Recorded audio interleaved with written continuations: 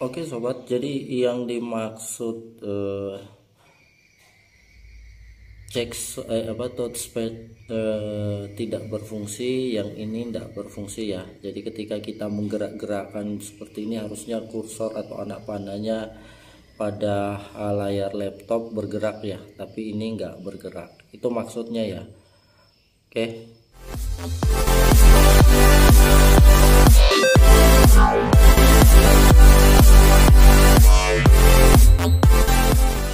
sobat semua, kembali lagi di channel ini Witihama Channel, channel informatif dan edukatif yang akan memperkaya wawasan dan pengetahuan Anda.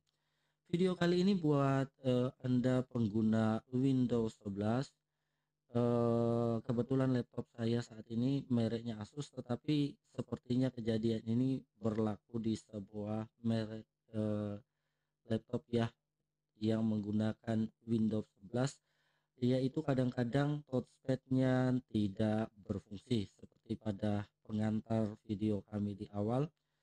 Dan saat ini saya menggunakan mouse makanya anak panah atau kursornya bergerak ya. Tetapi jika saya menggunakan touchpad maka anak panah ini tidak berfungsi. Bahkan ada yang tidak muncul sama sekali. Oke, e, caranya gimana? Caranya sederhana dan simpel aja, teman-teman. Silakan masuk ke e, pengaturannya. Kita pilih e, Windows, terus selanjutnya kita masuk ke setting.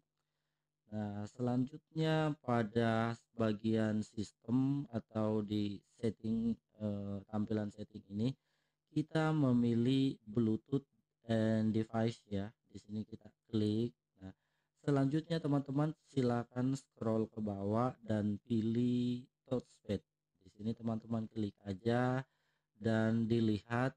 Nah ternyata eh, pengaturan touchpadnya tidak aktif. Jadi teman-teman tinggal aktifkan saja di sini. Oke?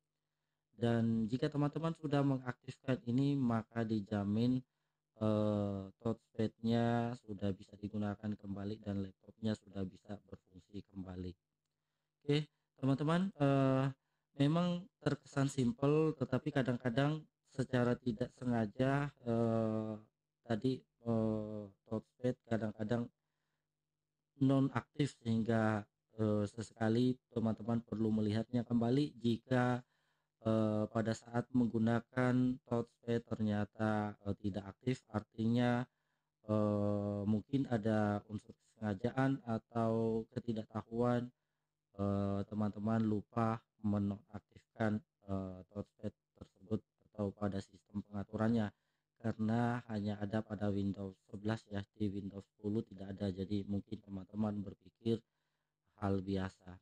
Oke teman-teman itu saja video kita pada kesempatan kali ini. Mudah-mudahan berguna dan sampai jumpa di video-video selanjutnya